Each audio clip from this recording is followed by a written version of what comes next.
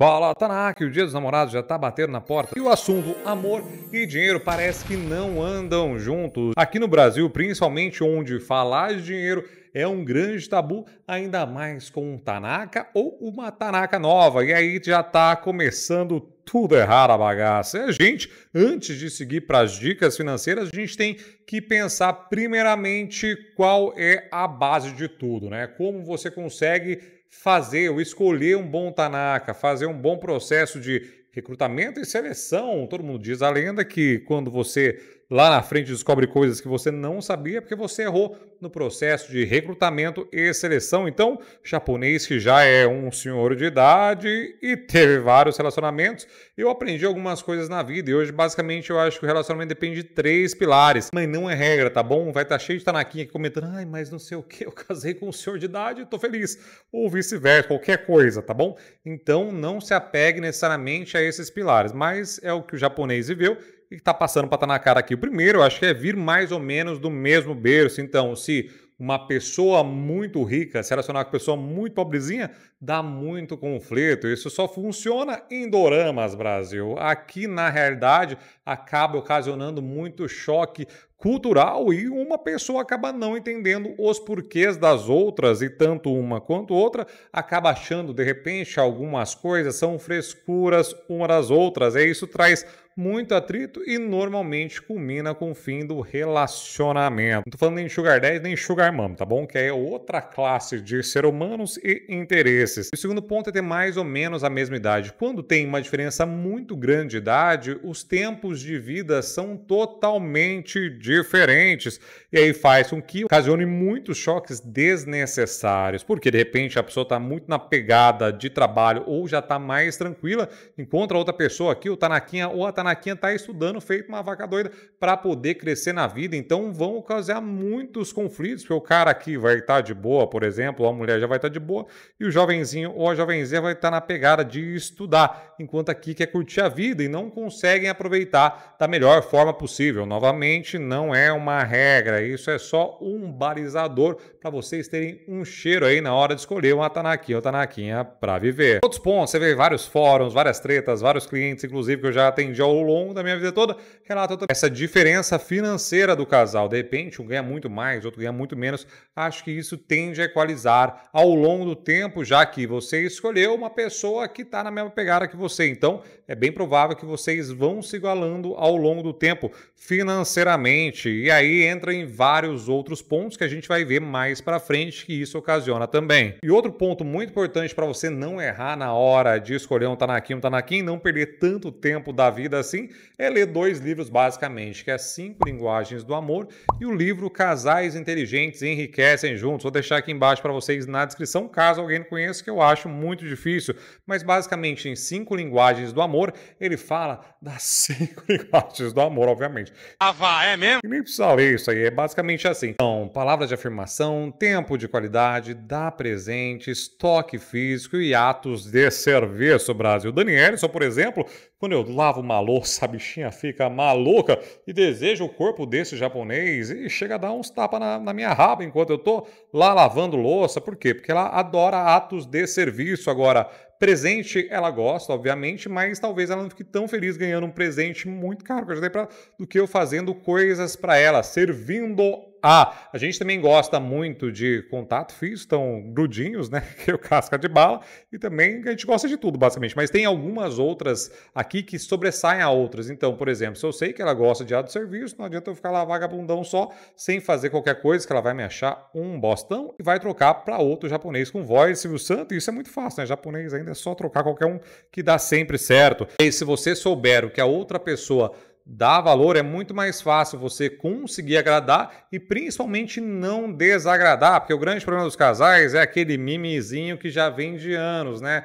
Um não faz uma coisa para um, que não faz coisa para o outro e vira uma verdadeira bola de neve horrível para o relacionamento. Então, esse livro é crucial para você entender a Tanaquinha ou Tanaquinha para que você consiga acertar e não gerar mais faíscas nesse relacionamento. Já o livro do Gustavo Ser Básico, Casais Inteligentes Enriquecem Muito, tem os cinco perfis ali que são basicamente poupador, depois a gente tem o gastador, a gente tem o investidor. E depois a gente tem também o cara que é despreocupado e o equilibrado. O equilibrado é o melhor de todos, mas é muito difícil você achar alguém totalmente equilibrado, porque acredito eu que o equilíbrio vai da fase da vida financeira que a pessoa tá. Agora, o que não dá certo é um poupador casar com uma gastadora ou um gastador.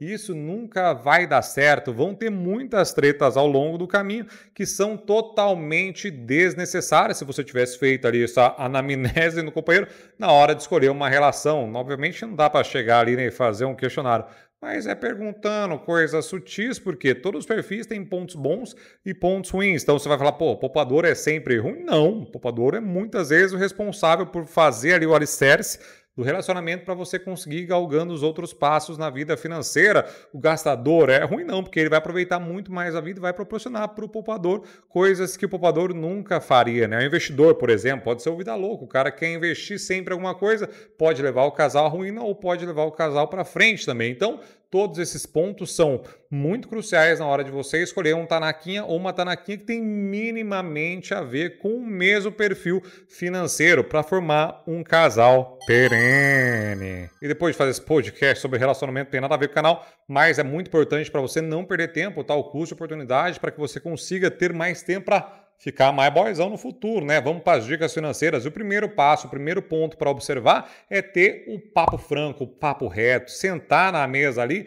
e trocar uma ideia sobre a situação financeira de cada um e principalmente os próximos passos para que você transforme a tal metona em metinha e você venha desdobrando para que você consiga fazer ali o seu diagrama de crescimento. Então, se você quiser ter um corpo gostosão, você precisa treinar mais. Para treinar mais, você precisa de repente escolher um esporte que queime mais caloria, que vai custar tanto e você precisa ir tantas vezes na semana. Então, vocês como casal tem que destrinchar isso primeiro para que vocês consigam ir passo a passo acompanhando a evolução e vocês consigam finalmente chegar. Mas para antes disso chegar, vocês precisam fazer uma espécie de base de dados e imputar ali no papel ou na planilha ou qualquer coisa do gênero a expectativa de vocês com a realidade atual financeira de cada um. Então tem que ter esse papo reto com o companheiro, porque isso, como eu falei, é um tabu e é uma grande quebra de paradigmas. Antes de entrar no mercado financeiro, era muito mais travado falar em relação a dia. Primeiro que eu não tinha, e segundo que em casa nunca foi um hábito muito normal os pais falarem, e também, sinceramente, nem sei se é muito bom, né? Os filhos de que tá hoje em dia, não sei nem se é muito bom ter esse papo franco sempre com os filhotes. Mas, para casal, eu acho que é extremamente importante e fundamental vocês terem esse diálogo franco e aberto sobre dinheiro, finanças e objetivos futuros. Beleza, aí a gente tem que considerar também que pode ser que um dos dois tenha algum tipo de dívida, então também tem que criar um plano para que vocês consigam, obviamente, tampar esse furo, né? Muito melhor vocês taparem esse furo primeiro para depois começar a economizar e juntar dinheiro do que o contrário. Porque a dívida corre sempre mais rápido que tudo nessa vida, Brasil. É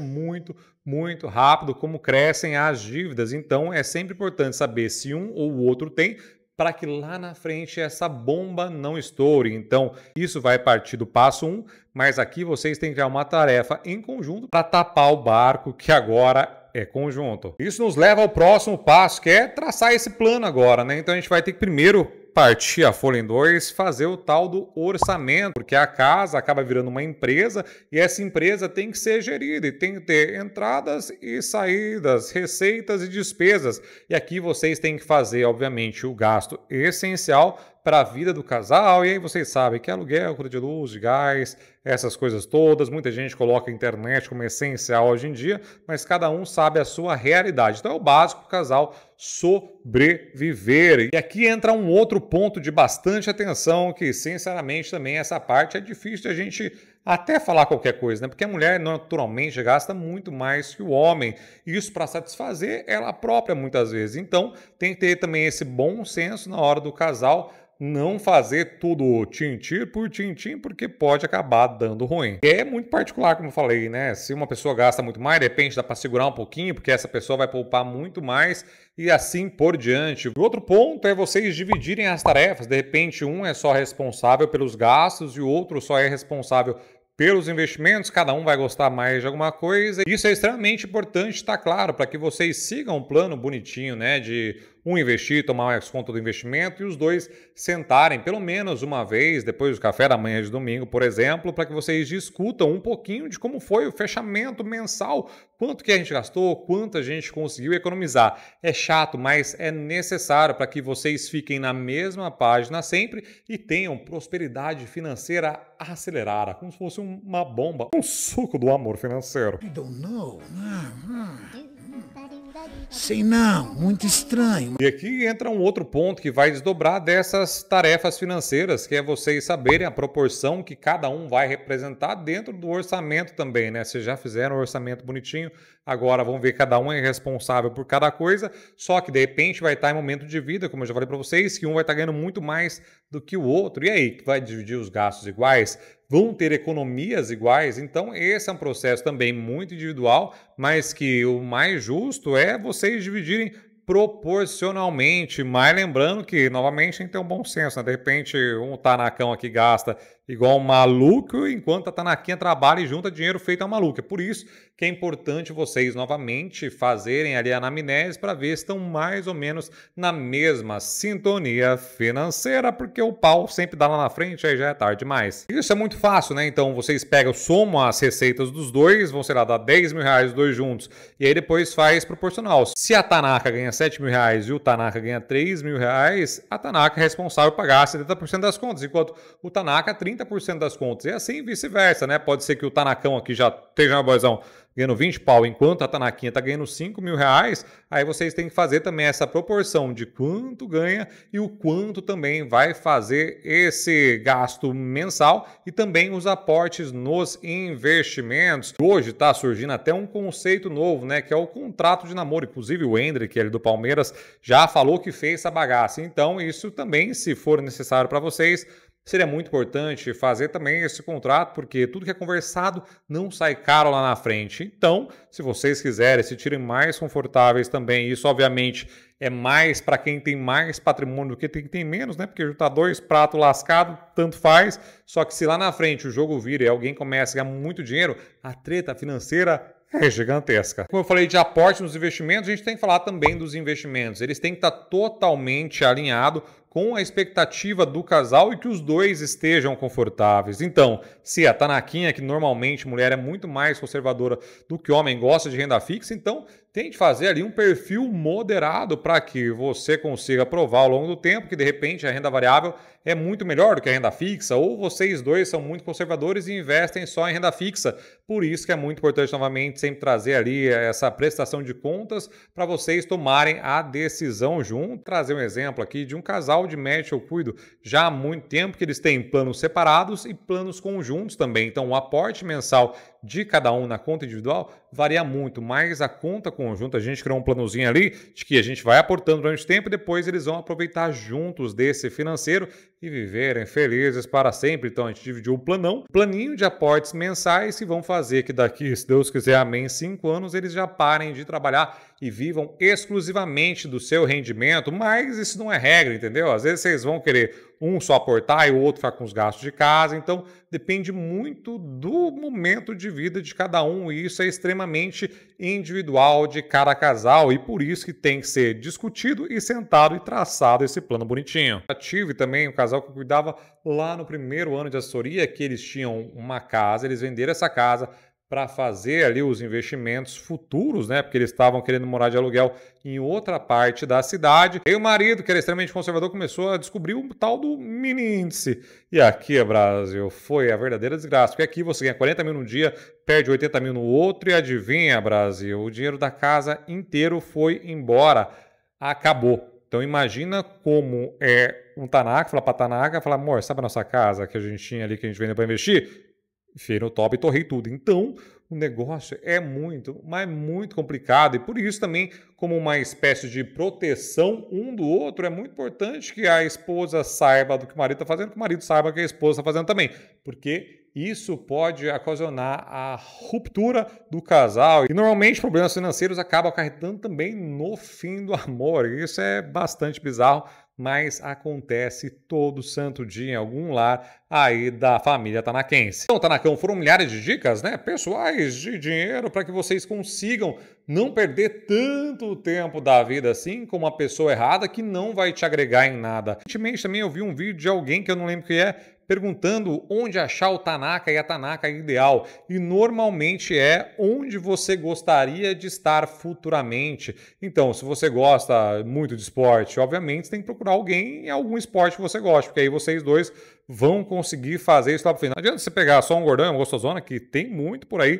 que às vezes vai acabar também dando ruim no final do dia. Por quê? Porque interesses comuns geram a mais longevidade do casal. E aí, se você tiver na pegada de prosperidade, tem que ir aonde as pessoas prósperas estão. Até vou dar um exemplo, que esse aí no começo eu não entendi, tá bom? E aí pode até criticar aí, mas bagulho é verdade mesmo.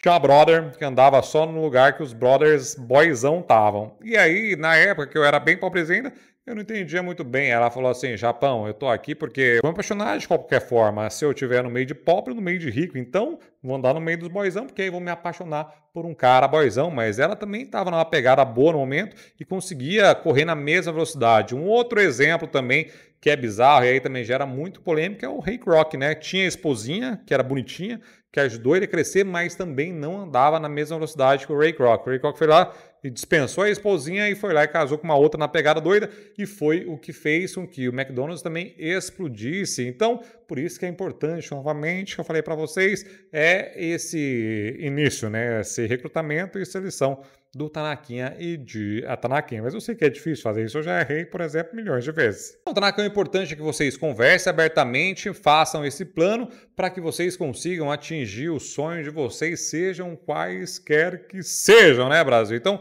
é muito legal que você consiga essa prosperidade e quando isso é em casal, é muito mais bonito e é muito mais legal e, consequentemente, é muito mais rápido, porque vão ter duas pessoas com o mesmo próximo, remando o mesmo barco que agora já está tampado do furo e consigam realizar aí todos os sonhos de vocês, tá bom? Feliz Dia dos Namorados. Vou deixar aqui para vocês um jeito de alegrar também o Dia dos Namorados é aprender como faz para arrancar dinheiro do banco. Citei aqui sete formas de você arrancar dinheiro dos bancos e proporcionar ali para o seu parceiro e parceira momentos muito mais felizes com algumas dicas desse vídeo.